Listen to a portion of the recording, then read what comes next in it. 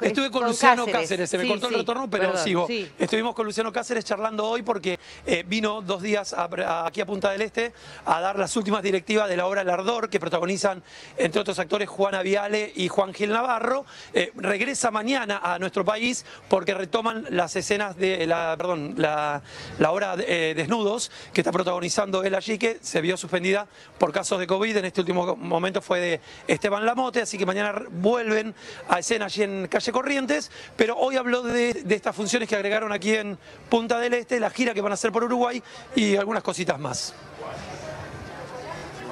Por suerte la obra ya estaba, este, digamos, puesta desde Buenos Aires y los últimos detalles, los generales, con la luz, con todo, estuve laburando desde las 8 de la mañana hasta las 11 todo el tiempo conectados con, con nuestro iluminador, con la gente del teatro y después dirigiendo así por pantalla a, a mis compañeros actores, pero mm, se superó, viste que hay algo ahí que la tecnología jugó, jugó a favor y la obra está buenísima, está funcionando, aquí el público de de Punta del Este nos abrazó, porque la verdad que son muchas funciones. eh,